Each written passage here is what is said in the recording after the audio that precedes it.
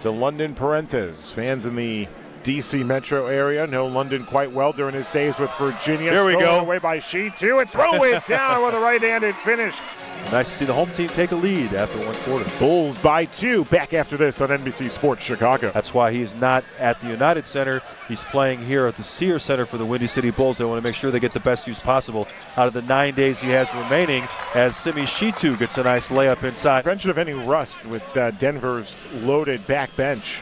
During the second half of his rookie season in Minnesota, as Oh. what an acrobatic shot by Simi Shittu. The balance by Shittu inside where things was things were running down, able to compose himself and get the finish. He spins away, gets pushed. His palm instead of his fingertips caused it to veer off to the left.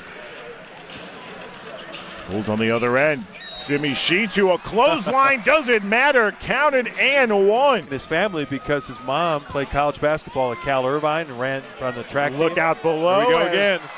Simi Shittu yeah. collides and he takes down Uh-oh. our baseline camera operator. Three point lead over the Windy City Bulls, 57 54. We'll take a break. We're back after this on NBC Sports Chicago. The first half. Yeah, very strange to see Milton Doyle scoreless for a half, but that's the case right now. Hopefully, get off the snide there. No.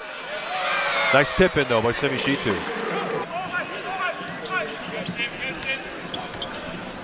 Milt. Nice finish for Simi Shittu. Dixon, heat check three from the right side, circles off the cup. Shittu muscles his way for a second chance board. Contact was made, hits the deck again, and Simi Shittu converts. Off the thigh of Dixon.